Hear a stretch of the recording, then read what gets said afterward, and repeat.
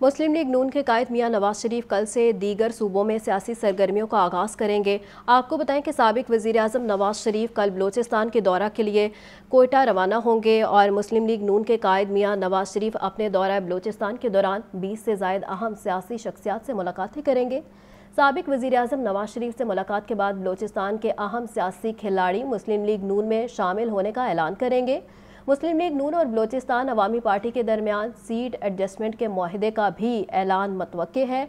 आपको बताएँ कि मुस्लिम लीग नून के सदर शहबाज शरीफ भी नवाज़ शरीफ के हमरा बलोचिस्तान जाएँगे।